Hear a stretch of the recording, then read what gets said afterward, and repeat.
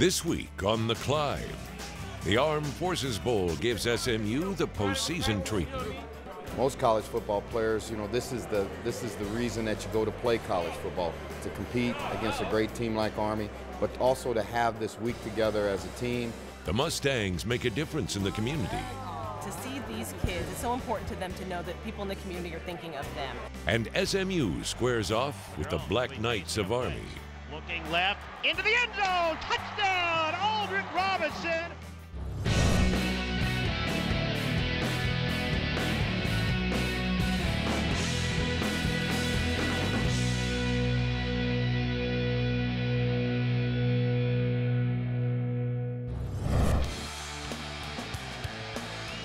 SMU finished the regular season with a 7 and 5 record. The Mustangs were 6 and 2 in Conference USA and finished first in the Western Division. SMU is going to win it. Five ponies were named first team all conference. Junior left tackle Kelvin Beachum, sophomore running back Zach Line, senior wideout Aldrick Robinson, sophomore linebacker Jagared Davis, and junior defensive end Taylor Thompson. SMU fell to UCF in the Conference USA Championship game, but still earned a second consecutive bowl berth. The Mustangs were invited to play the Black Knights of the United States Military Academy in the Bell Helicopter Armed Forces Bowl. A bowl bid is a recognition of a successful season, but there's much more to the experience than just football. Sunday night of bowl week, the teams gather for a welcome dinner at Fort Worth's world famous Billy Bob's. All right, now we're at Billy Bob's out in Fort Worth. Um, they got great hospitality. They take care of us real well. They got great barbecue, um, desserts. Um, we just love them. Hey! Show you how to get down right there. You gotta see it. it gotta be barbecue sauce is all over. I'm showing you how to get down. Finger looking good right here. That's a championship meal right there. Championship. You got everything you need. You got the meat, A winning meal. you got mac and cheese, salad. You know, you gotta be on health. You gotta be healthy. a little bit. Everything. It's been a good first day. Uh, we had a good practice earlier, getting ready for the game, and um, just trying to have a good time tonight and uh, just kind of enjoy our time here. The night includes gifts for the coaches and ADs, fun and games, and a little friendly competition between the teams.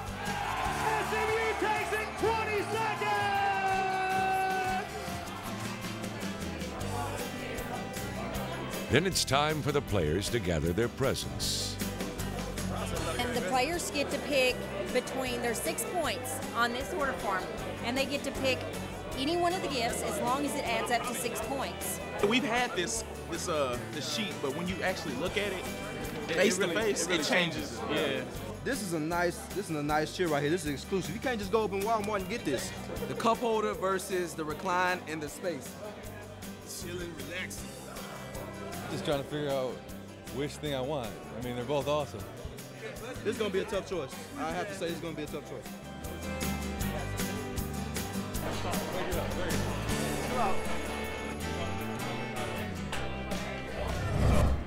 24 hours later, the ponies are back in Fort Worth for a visit to the four day weekend comedy club. Nice to see you, Carrie. Tell everyone where you're from, girl.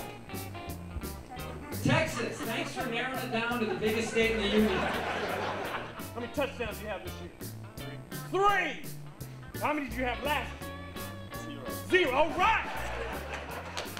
You have improved by 300%. I was just sitting there talking, and the spotlight shined on me. And at first, I thought that maybe it was around in my area, and and I looked up and I saw my face on the screen in front of us, and I was like, oh man, are they gonna? Are they gonna? You did how good. Where'd you play your ball? Uh, Drake University. Drake, the home of the fighting Bulldog. Bulldog. But, you know, it still all stems from June, playing music before practice, uh, having guys going out there and dancing. Uh, the fact that we can make fun of each other as a group, uh, I think that's special. You know, and the, the players, we all get along, and the coaches, it's great.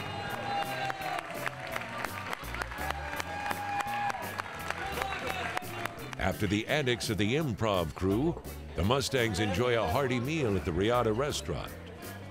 It's a beautiful restaurant. I just finished my plate. It was delicious. I got an eight ounce sirloin, nice medium rare, some mashed potatoes.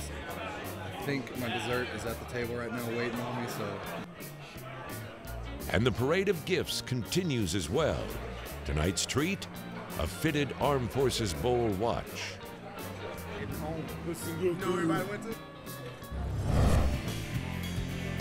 Still ahead, the Mustangs hear from one of the legends of the game. Success begins with a fellow's will. It's all in the state of mind.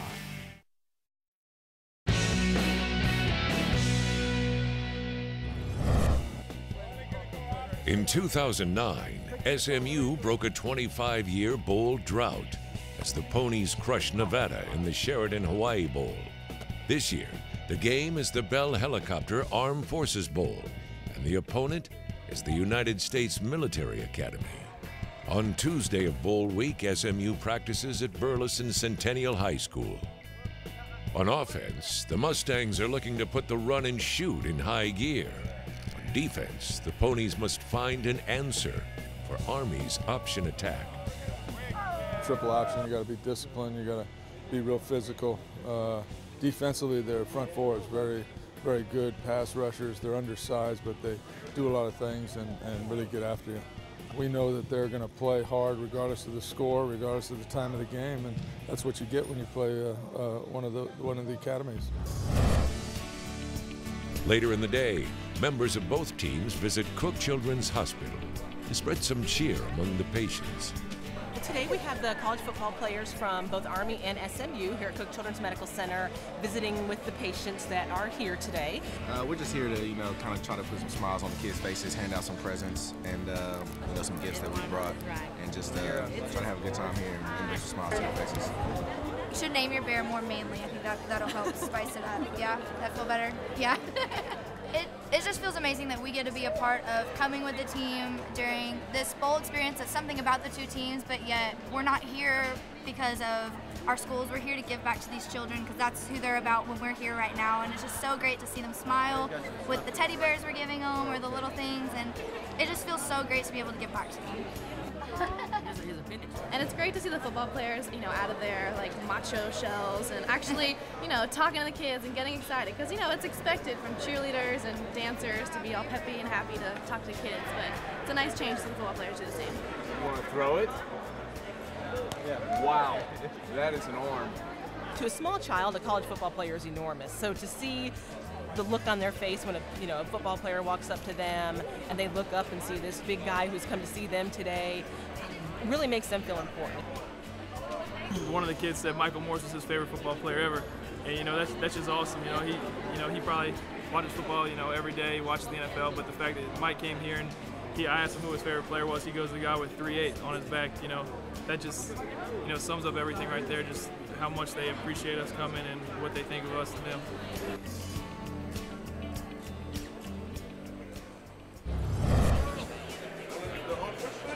On Wednesday, the eve of the big game, the teams gather one last time for the kickoff luncheon at the luxurious Omni Hotel. It's actually an opportunity for the bowl people to, to uh, you know, talk about both the teams, talk about the matchups, you know, recognize the people that have been so instrumental in making this happen. It's a reward for the sponsors of the game, and, and it's just a great way for both of the two teams to see one another last for the last time on a friendly basis before they go tomorrow and, and battle each other. Most bowl games are just about two football teams. Ours is more than a bowl game. Ours is a game, our game is a full tribute to everyone that has worn the cloth of our nation. The words thank you are not enough. So all of you that have served or are currently serving, please stand and receive the accolades you so truly deserve.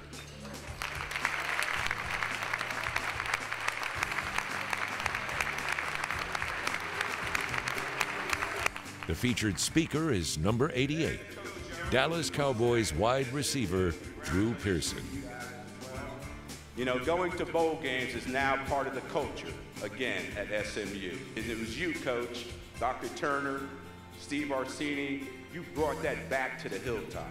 And remember, life's battles don't always go to the stronger or faster man. But sooner or later, the man who wins is the man who thinks he can. Good luck, Army. Good luck, SMU.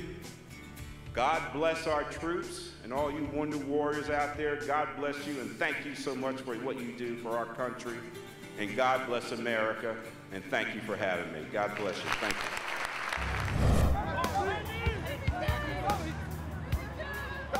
you. In the evening, the ponies go through a final walkthrough. For the seniors, this is a particularly poignant moment. It's, emotional, man. I didn't think I'd be emotional, but walking off the field right now, man, I'm just like it's it's the last time. It's it's it's been good. It's had its highs and its lows, but it's crazy, man. It's crazy. Definitely a little emotional and sentimental, realizing that my career here at SMU is finally coming to a close. We were able to resurrect this program back to a, a winning program, um, so that'll be the most uh, memorable thing and the biggest part of my legacy, I guess, that I'd want to leave here. We got to win that game tomorrow. You guys agree? Yeah. Yeah, okay, break it down. We'll talk about it. At the end of the day, I left I, I left every effort. I tried my hardest every day, and that's uh, something I'm proud of. So that'd be that'd be the main thing. I mean, I'm getting emotional right now. Coming up, the Mustangs square off with the Black Knights. Side caught! Touchdown SMU!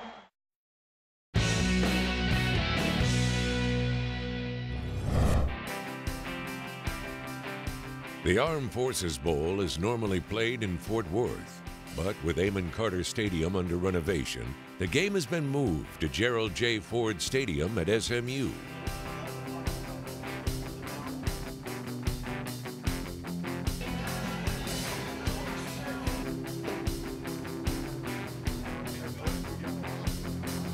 Inside the stadium, SMU takes the field for pregame warm-ups. SMU wears black jerseys as a tribute to their opponents. Guys, we know uh, what it's going to be like out there. Back in uh, August, we talked about about this persevering. We talked about it's not about the destination; it's about the journey. Uh, we have been through so many things: adversity, the injuries, the pain, all that stuff. We've learned how to to uh, sacrifice, how to love each other. We've, we've done everything you need to do to get to where you want to go. Now it's about where we're where we're at right now. This is the destination. We wanted to get to a bowl game. That's what it's about. And I'm telling you right now, those guys are going to play hard for 60 minutes. It don't matter what the score is, they're going to play hard. You play harder. You play longer than the opponent. That's what we do. Play for each other. Do it for each other. Play as a team. Opponent, just keep it going, keep it going. All right? That's what it's about. Grab a hand.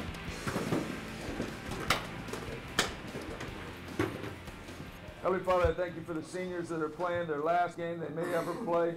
Thank you for all the things you provided for us, all the things you've given us this year. Thank you for the lessons we've learned. In Jesus' name, amen. amen.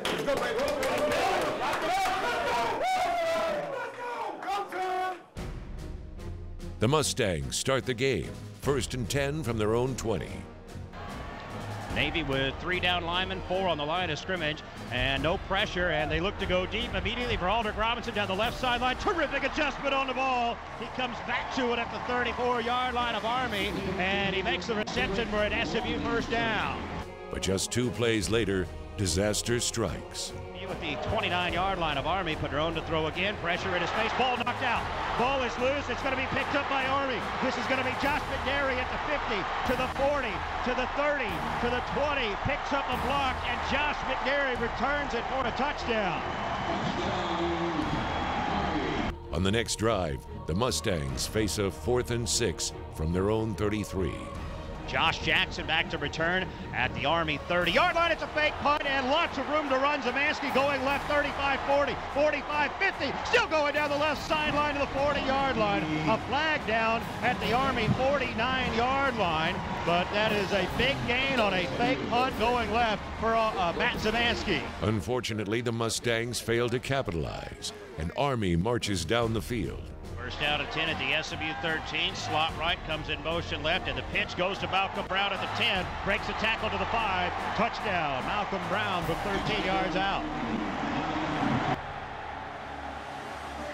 Carlton's extra point is blocked at the line of scrimmage. Ball goes into the end zone. It is Margus Hunt's third block of the year, the 10th of his career. The Mustang offense moves the ball well throughout the first half. Gun, trips left, Hume. Gun, trips left, Hume. 90, 32 drop. But SMU can't turn the yards into points. Army leads 16 to nothing. The Armed Forces Bowl serves as a reunion for the Mustang football family.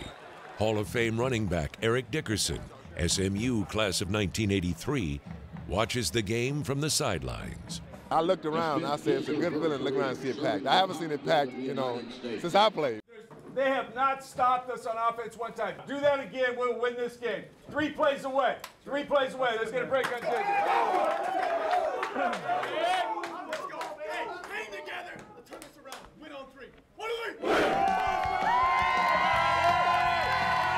On their first possession of the second half, the Mustangs put together a 92-yard drive. Kyle out of the shotgun will hand it off. Zach Line coming left. Nice block in front of him to the 15. Breaks a tackle to the 20 and up to the 25-yard line. Padron under some pressure. Steps up to avoid it. Throws right. Caught Cole Beasley at the 29 on a comeback. He spins upfield to the 30. Up the side. He has to the 35. They pick it up. Padron delivers. Caught Keenan Holman at the 15. Breaks a tackle to the 10. And Holman will finally be stood up at the Army 8-yard line. Big time catch from the freshman wide receiver out of Beaumont Central. Padron will be facing a blitz. Looking left into the end zone. Touchdown, Aldrick Robinson. That is his 14th of the year. No disrespect, but you don't get shut out by Army on a bowl game at your home field. Smart line just take. Why, why not to that guy? Why?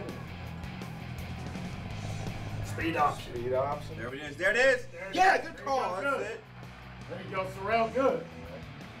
35. 35. Early in the fourth, SMU again drives into Army territory. They're going to bring a five-man rush. Zach Lines hit the backfield, breaks the tackle to the 40, breaks another one at the 45. He runs over Steven Anderson all the way to midfield. Power running up the middle for eight yards and a first down for Zach Lines. Second and three from the 28. Steps back to his left. He's going to throw deep down the left side. Caught! Darius Johnson! Touchdown SMU! Time throw. Big time throw. But SMU would not score again. The final tally Army 16, SMU 14.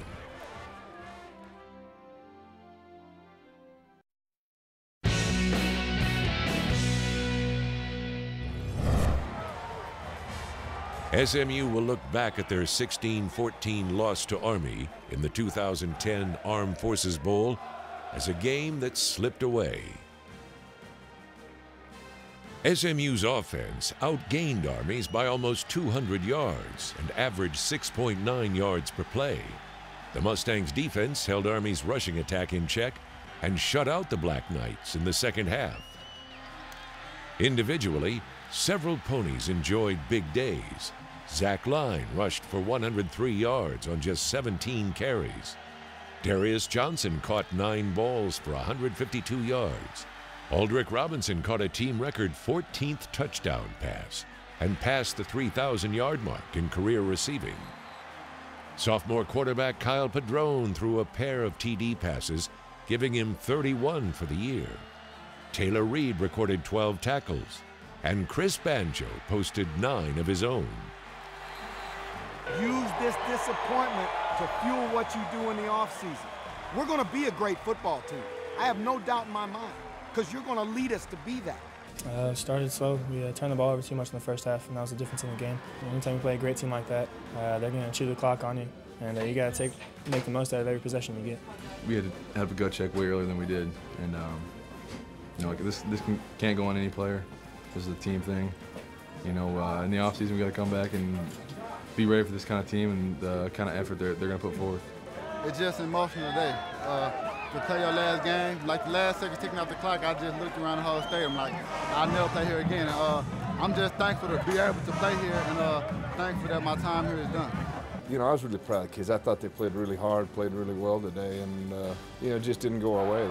I think this season, I, um, the way it turned out, we can learn from this game. Um, remember this feeling because it, it really don't feel good. This team has much to be proud of and even more to look forward to. We have the foundation built. I think we have a lot of good players coming back, and we've got a lot of uh, young players committed uh, to, to coming. And uh, we're making the steps in a positive direction to, to just keep getting better. But I think we're, you know, we're, we're learning how to compete together and play together and all those things that you do, uh, good football teams do. And you know, we got to put them together and just keep winning. With a 7 and 7 record, there's no question that this was a year of progress for the SMU football team. You know, we sure wanted to win that one for you guys. There ain't no question about that. Everybody here wanted to do it. We just came up a little short. That's how football is. But I'm proud of you guys. Appreciate all your efforts. Appreciate all your hanging together. I mean, a lot of guys would have just quit. I mean, I tell you, four years ago, three years ago, that score at halftime, it's going to go to 50 to 10. Okay, that's that's uh, why, why we're going to be good because we we learned to persevere through all that stuff. All right, grab a hand. A CUSA West Division title, a second straight bowl appearance, and marks all over the record books are signs of a program on the rise. With 18 returning starters, a strong class of incoming student athletes, and June Jones at the helm, the Mustangs are poised to climb even higher next year and in the years to come.